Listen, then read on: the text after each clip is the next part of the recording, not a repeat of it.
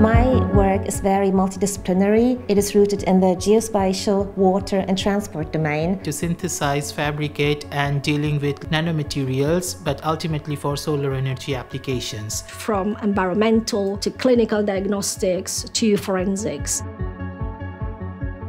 I have more than five publications with scientific reports. Publishing of scientific reports has opened up different avenues for me. We received significant media attention, not just nationally but internationally. Following my publication, I had the great opportunity to present my work in different webinars in that particular domain. And I can get uh, more connections and build networking, which ultimately helps to get a very good research funding. Of course, I chose scientific reports for the prestige and for the reach, and that in fact has paid off.